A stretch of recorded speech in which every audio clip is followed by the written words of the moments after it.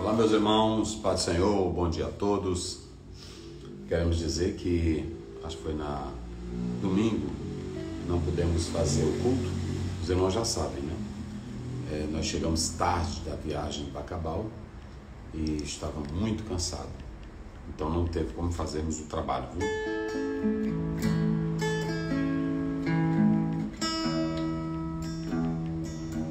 Vamos lá, pai, mãe, jovens, adolescentes. Vamos adorar a Deus com o hino da nossa harpa cristã. Está aqui. Vamos louvar a Deus com o hino da nossa harpa cristã. Vamos lá. Hum. Aqui, ó. Só um minuto.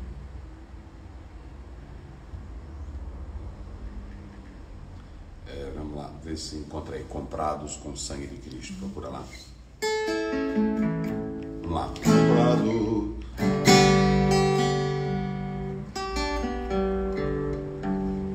Comprados com o sangue de Cristo. Alegre ao céu, sim, eu vou. Liberto do vício maldito. Já sei que de Deus eu sou. Já sei, já sei. Comprado com sangue eu sou. Eita, irmão, vamos lá.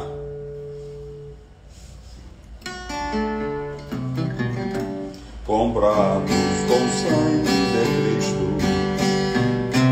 Alegre ao céu se eu vou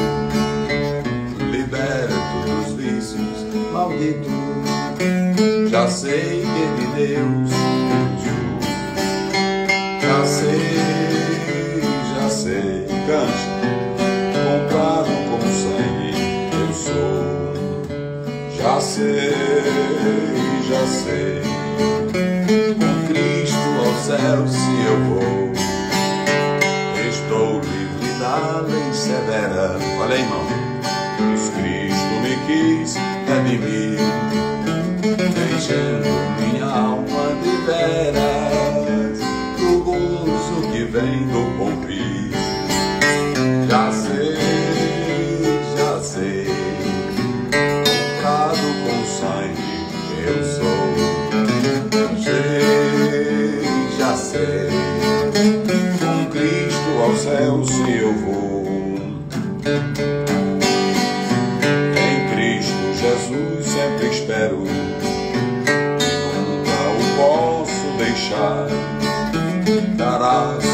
favores, não quero, vou sempre de Cristo falar. Já sei, já sei, com Cristo ao céu se eu vou. Eita Deus, já sei, já sei, com Cristo ao céu se eu vou. Eu sei que um dia a beleza grande eu vou contemplar. Dá fortaleza e sempre me quer consolar. Já sei, já sei, comprado com sangue eu sou.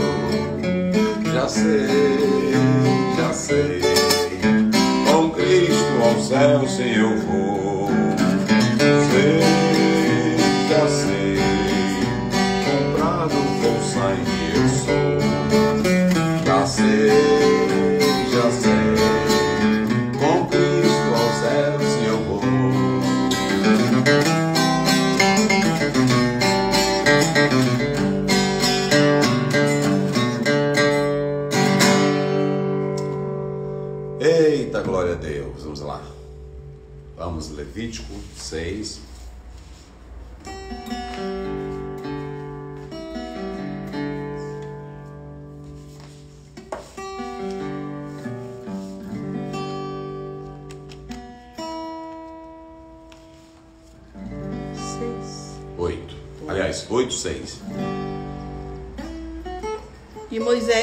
chegar a Arão e a seus filhos e os lavou com água. Oh, palavra boa. E Moisés, agora aqui começa de fato a consagração. O negócio era sério, tinha que ter o azeite da unção para separar, a unção significa separar, mas tinha que ter o banho, tinha que ter a lavagem. A pia de bronze, que fora feita com os espelhos que as mulheres deram, nós já sabemos disso, né? Está lá em Êxodo 38, verso 8, vamos ver isso aí. Êxodo 38, verso 8. As mulheres deram esses espelhos de bronze e aí foi feito essa bacia, que nela tinha água, ficava ao leste, e ali, antes de entrar para fazer o sacrifício, eles teriam que serem lavados. Vamos lá. É, 38 e 8. Fez também a pia de cobre com a, sua, com a sua base de cobre dos espelhos das mulheres que se ajuntavam. Ajuntavam-se a porta, ajuntando-se à porta da tenda da congregação. Então veja que essa, as mulheres deram os espelhos, todos contribuíram na obra, ninguém ficou de fora. As mulheres deram esses espelhos e foi feito essa bacia, essa pia de bronze, que ali o sacerdote tinha que se lavar para poder desenvolver a sua função. E aqui a primeira coisa que nós podemos analisar é que essa lavagem ela apontava para o seu aspecto simbólico primeiramente para a purificação de pecados. Purificação de pecado. Primeiro ato simbólico no lavar do sacerdote para desempenhar a sua atividade era que falava da purificação do pecado, ok? É, depois da purificação, essa palavra apontava para o batismo. O batismo. Os irmãos sabem que Jesus Cristo, quando foi desempenhar a sua função para se identificar com o povo, não que ele tivesse pecado, está lá em Mateus 3, ele foi batizado no Jordão por João Batista. Veja que o sacerdote, quem era levita, era a partir de 30 anos que poderia servir.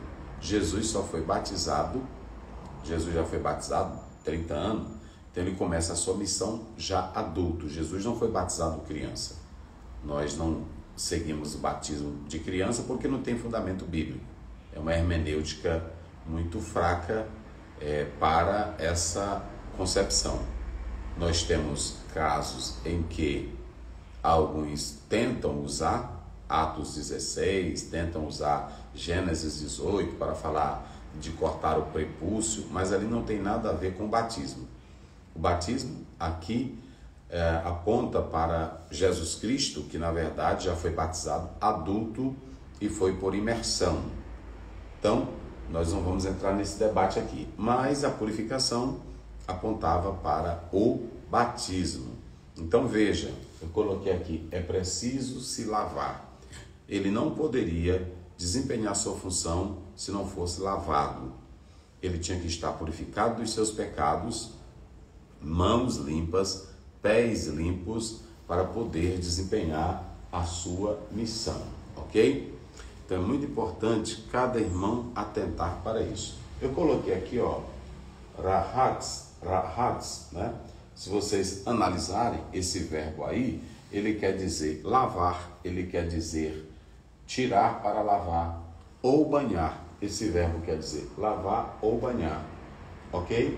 Ele está no imperfeito, olha aqui, ó, vai hats, né? Vai hats, aqui ele está no imperfeito, né? Que na verdade é o incompleto, que diz assim: e os tirou para fora e os lavou, e os lavou, né?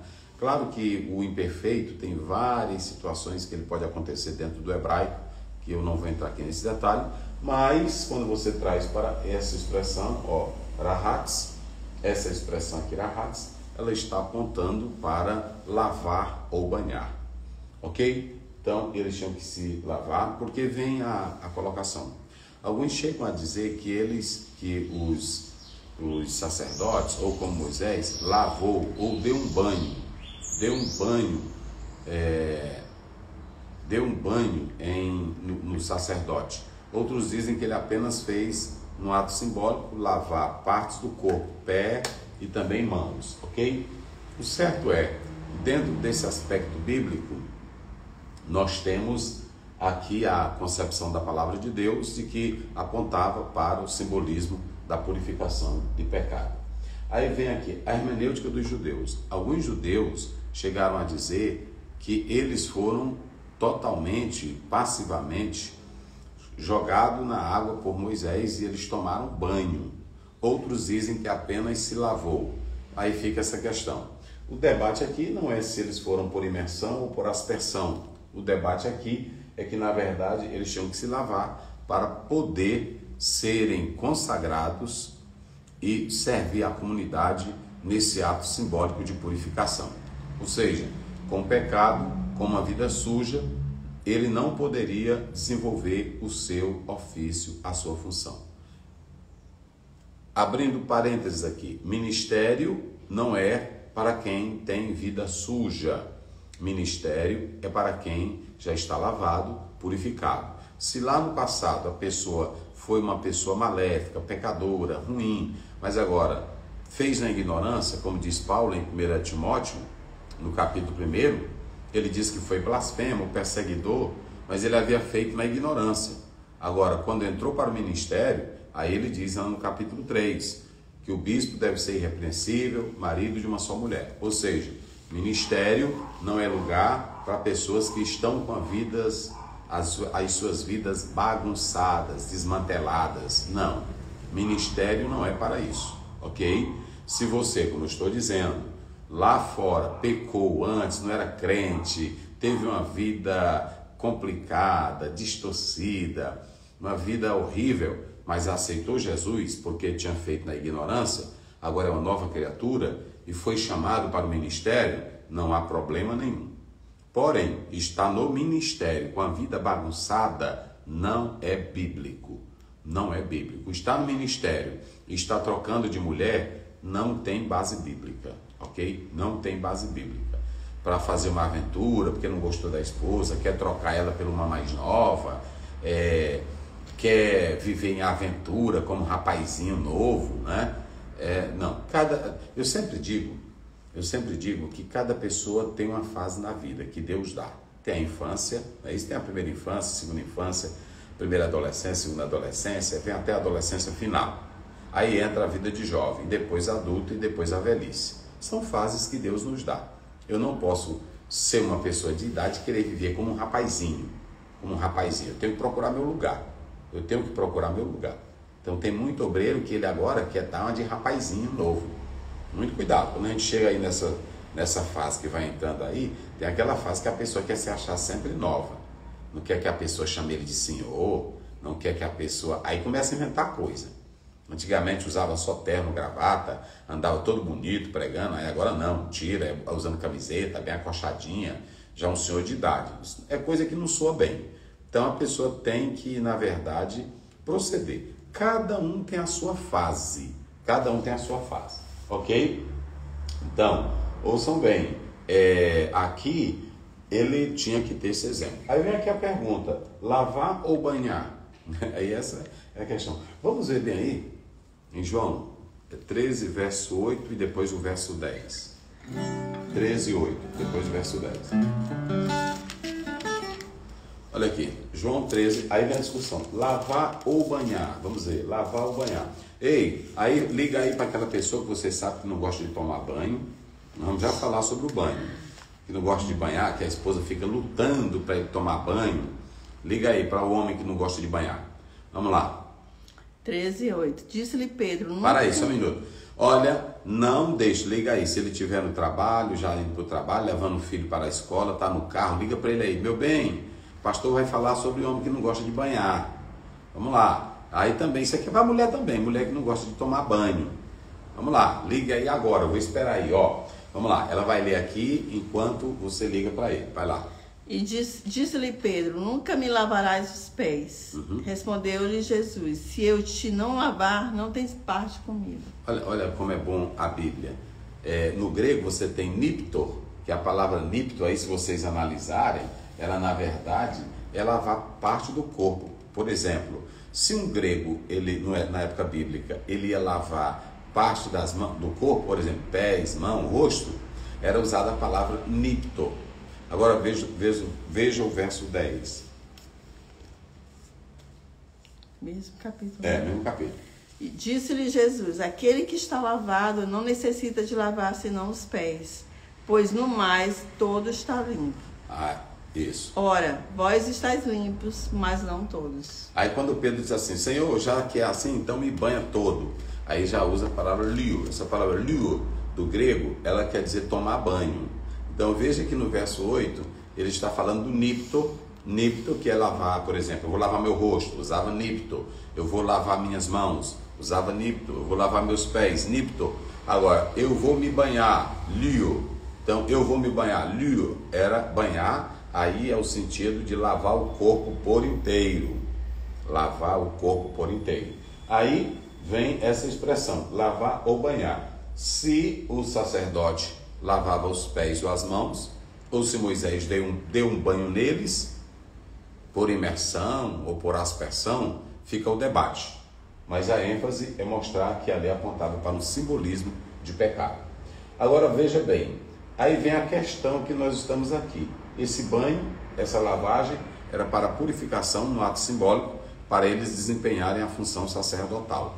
Ou seja, quem tem vida suja não pode fazer a obra de Deus. Por isso que Jesus disse: se eu não te lavar, não, tem, não tens parte comigo. Aí Pedro diz: então, Senhor, me lava todinho, me banha, me banha.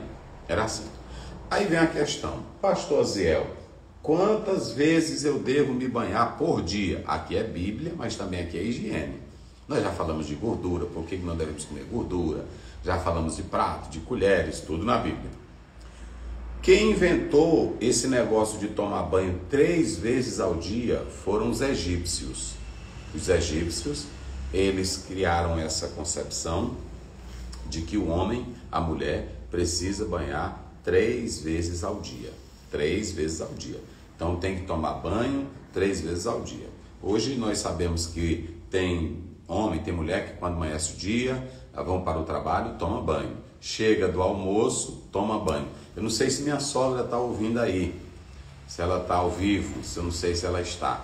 Mas veja bem, viu? Aí tomar banho de manhã, tomar Ela banho. toma. Ela toma, mas é porque ela sabe o que, que eu estou falando aqui. É. Olha, tomar banho de manhã, tomar banho aí volta do trabalho, quando vai chegar para almoçar com a esposa, e a esposa também, ou o filho, aí tomam banho para estar à mesa e almoçarem. Aí pronto, algum voltou para o trabalho, etc. Quando chega do trabalho, toma banho para ir para o culto. Tem deles que aí quando chega, que é o meu caso. Tem deles que quando chega, toma banho depois do culto. Eu tomo banho depois do culto. Então, nesse, quadro- nesse caso, são quatro banhos por dia, ok? Só que no Oriente, quando se falava dos homens lá dos judeus, a água nessa região ela é escassa. Então, o que, que eles faziam? Tomavam banho e durante o dia todo ficava passando óleo e ficava passando perfume. Olha aí, tomava o banho e como era so- o sol muito quente e eles não tinham muita água para não haver a- o desperdício de água, eh, sabe o que, que eles faziam? Vamos ver aí Cantares 1, verso 2. Aí o que que acontece? Esse homem que tomava, lá no, no- os judeus que tomavam banho uma vez por dia, e aí eles tomavam banho e ficavam usando os óleos e o perfume. Como é que diz aí? Verso 2. É beija-me com os beijos. É, é- é, pode ir, verso 3, deixa eu ver. Para cheirar. Olha aí, é. Para cheirar são bons os teus ungüentos. Olha, para cheirar, aqui é a mulher dizendo: Meu bem, é o seguinte, eu gosto do teu beijo, gosto do teu beijo, boquinha bem escovada, dentinho ajeitado, linguazinha bem limpa, sabe escovar a língua, sabe se ajeitar. Olha, lá em Gramado, quando eu falo de estudo para casais da Bíblia, eu não invento, eu tiro o que está na Bíblia. Então eu quero convidar você que é pastor, a irmã que é missionária, o irmão, para estar comigo. Qual é a data lá?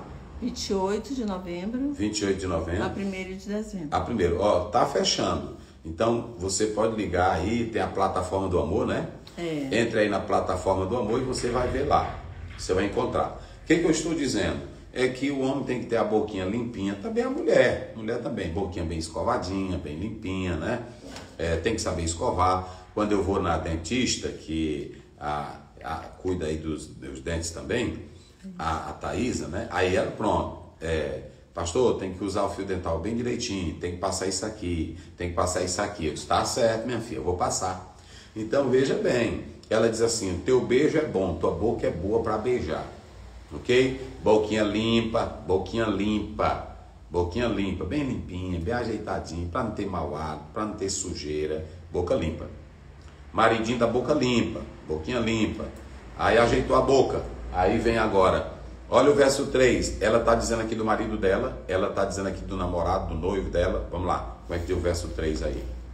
Para cheirar são bons os teus ungüentos. Aí ele tomava banho e aí como o sol lá naquela região muito quente, para não ficar fedorento, para não ficar fedorento, toda hora ele passava um perfumezinho. Tirava a sujeira, passava pelo corpo, passava pelo corpo, ficava limpinho. Aí a esposa, mesmo ele chegando do trabalho ou da atividade, ela dizia: Meu bem, tu passou o dia todo no sol, e tu tá cheiroso desse jeito. Vai ler aí de novo. Ai, três, lê a completa agora.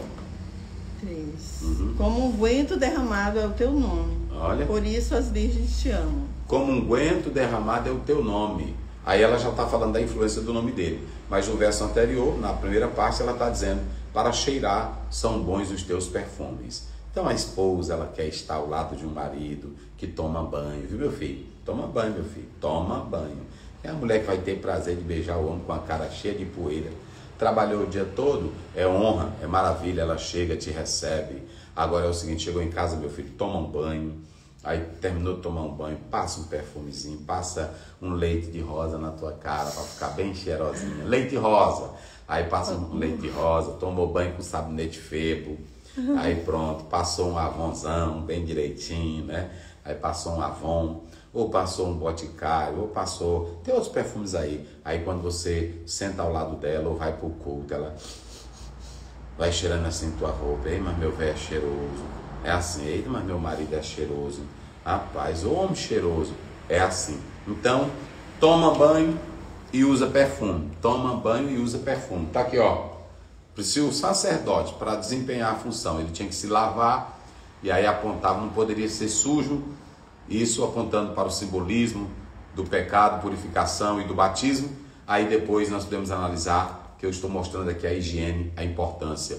Um obreiro, quando eu fiz teologia pastoral, tinha um autor do livro que dizia: o obreiro precisa ter as unhas bem cortadinhas, ele recebe muita gente, precisa ter os cabelos bem cortadinhos, tanto da cabeça como do nariz, do, do ouvido, porque às vezes a irmã está conversando ou o irmão está conversando com o pastor, isso tira a atenção. O irmão sai e diz assim: Rapaz, que pastor ceboso, você viu lá? Ele não tem higiene. Você viu como é que ele faz? Você viu a cara dele? Você viu o ouvido dele? Então, pronto. Até mesmo eu li de um pastor que ele disse que quando for para o gabinete pastoral dar atendimento, pastor deve evitar comer muito alho, porque tanto transpirar dele como falar, aquilo ali pode incomodar no aconselhamento pastoral. Higiene tudo bem direitinho, toma, toma teu banho, viu meu filho? Ligou aí para ele, irmã, meu velho. Aí pronto, tem dele que só quer tomar banho uma vez por semana. Faça isso não. Tome banho todo dia, três vezes ao dia, tome banho. Tome banho e pronto, tomou banho, se perfume. Usar o cremezinho das axilas, bem direitinho, ajeitou, e aí é só bênção de Deus. Então, sugerindo é mascar cravo também, né? Aí tem o cravo, né, que ajuda tanto na garganta, mas tem que ter bem cuidado, né, porque o cravo ele é muito forte. Também eu já li sobre isso. Aí é, é, a pessoa tem que ter um momento sim dele, tem as horas, tem um momento, é muito importante, ok? E aí o irmão pode conversar aí com o seu dentista, ele vai explicar bem direitinho. É, às vezes tem problema, tem pessoas que têm problemas mesmo estomacais, que já precisa de uma orientação médica. Não é só questão de escovar os dentes. Tem deles que dizem, quer tirar esse mau, mau odor com cravo ou com house. E às vezes piora mais, ok? Então faça o seguinte, converse com seu médico, doutor, por que, que eu tenho esse hálito forte? Me ajuda aí, doutor. Ele vai passar um negócio aí que vai te ajudar. Pastor Douglas está sugerindo os perfumes da, da, da fragrância. Ah, é, o pastor é? Falou uns perfumes. Perfumes DB Fragrance, fragrância. É, tá aí, olha tem perfume bom que aí você pode é. se ajeitar. É bom, irmão. Aí a mulher chega do culto, o marido ela vai preparar ali uma, uma, uma, uma, uma papazinha para ele, ou um cremosinho, ou um suco, enquanto está fazendo, ele toma um banho. Ela também já tomou o um banhozinho, aí se senta os dois lá fora, lá no quintal, ou lá no terreiro. Aí ficam os dois conversando. Aí ela bota a cabeça assim no pescoço dele, ei meu velho, mas tu é cheiroso. E ele bota assim também no pescoço dela, ei minha velha, tu é cheirosa, rapaz, tu é cheirosa. Agora imagine ele botar a cabeça, minha filha, ainda tem grude aí no teu pescoço desde manhã, quando tu fez o café da manhã. Pode café na cara dela desde manhã. Não funciona, minha santa.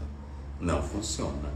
Alto lá, não funciona. O homem também, a mulher. Já pensou? O homem anda o dia todo na rua, aí chega da rua, e aí quando chega, do jeito que o homem chega, ele deita.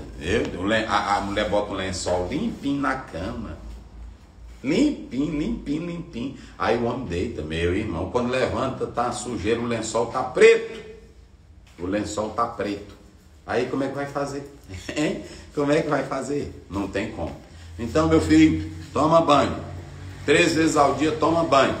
Terminou de tomar banho, joga perfume. Aí pronto. E aí você pode sentar pertinho, é cheiroso. Fica tanto cheiroso para e cuide do teu corpo, porque teu corpo é templo do Espírito Santo de Deus. Amém? Deus abençoe. Faça isso. Estou falando, pedindo para falar sobre depilação. Aí pronto, não é pecado a irmã se depilar, não. Tem irmão que fica com esse negócio, esse exagero, velho. Irmão, Jesus morreu na cruz para perdoar nossos pecados. Ele não morreu na cruz para tirar é, cabelo de pele, para tirar cabelo do nariz. É, que besteira é essa? Tem irmão que é tão atrasado atrasado, isso aí é parte da higiene, ok? A pessoa, pronto, é, ajeitou, é, a, a, a, parou aqui, ajeitou aquele negócio, ajeitou, deu direitinho, pronto. Aí é, é, é se ajeitar, tem higiene. Faça isso, minha santa.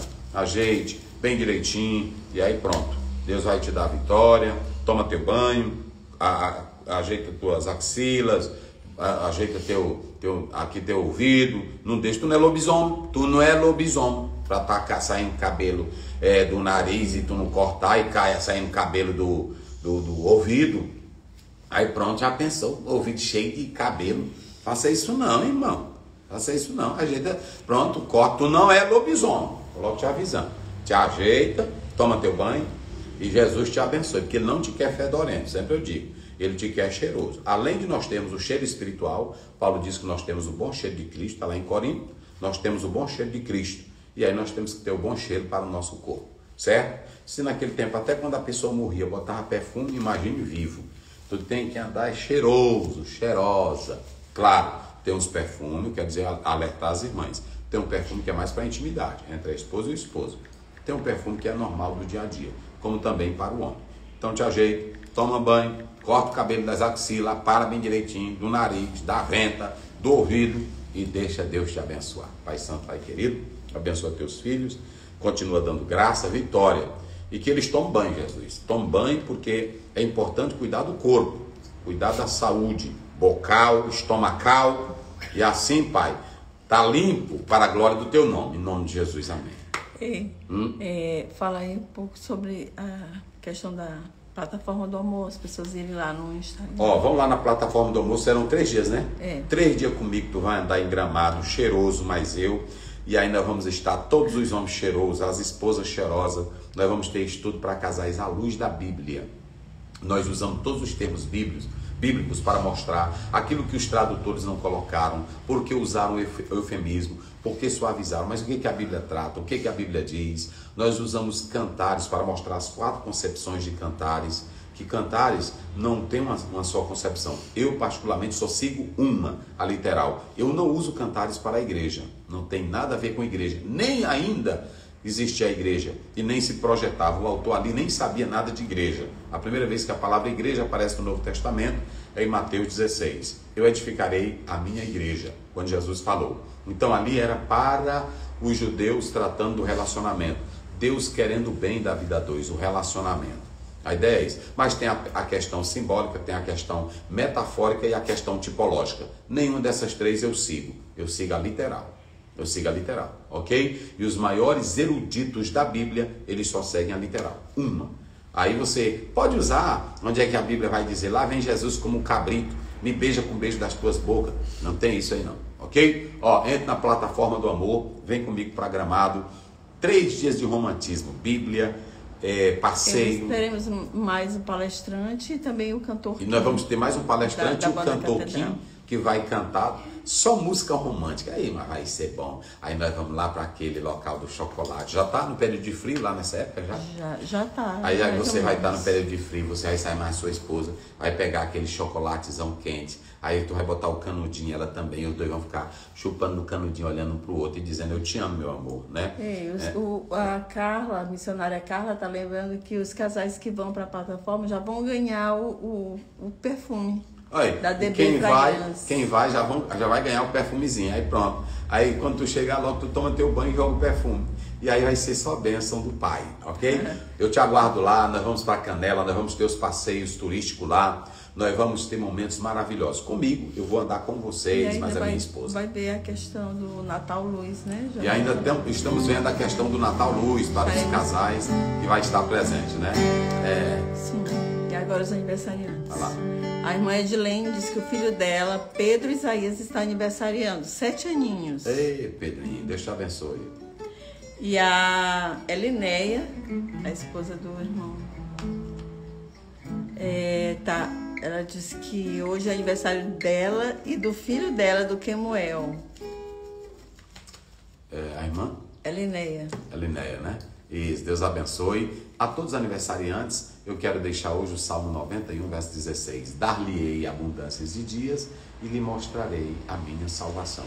Deus vai dar abundância de dias. Veja bem, dias não sem Deus, dias com Deus. Como é bom viver cada manhã, cada dia, cada tempo, cada segundo, cada milésimo de segundo com Deus. Imagine isso. Então Deus abençoe o tempo, a vida e que essa data seja portadora de muitas outras. Senhor, abençoa teus filhos que estão completando mais um ano de vida, colhendo a flor no jardim da sua primavera. Prospera, abençoa, dá vitória em nome de Jesus. Parabéns para vocês. Essa data. Aniversário da irmã Nilza Chagas Mendes. Ela tá todo dia aqui, tá fazendo 61 anos. 61 anos, ó. Pronto, para ela, Salmo 92, 14. Essa data querida, muitas felicidades muitos anos de vida. O Senhor vos abençoe e vos dê santidade. Parabéns pra você, muitas felicidades.